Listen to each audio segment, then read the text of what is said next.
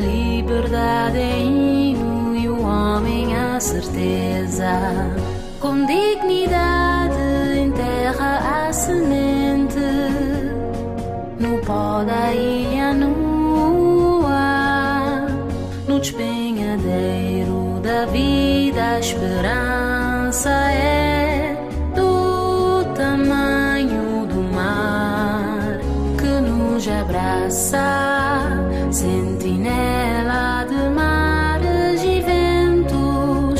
perseverantes entre as estrelas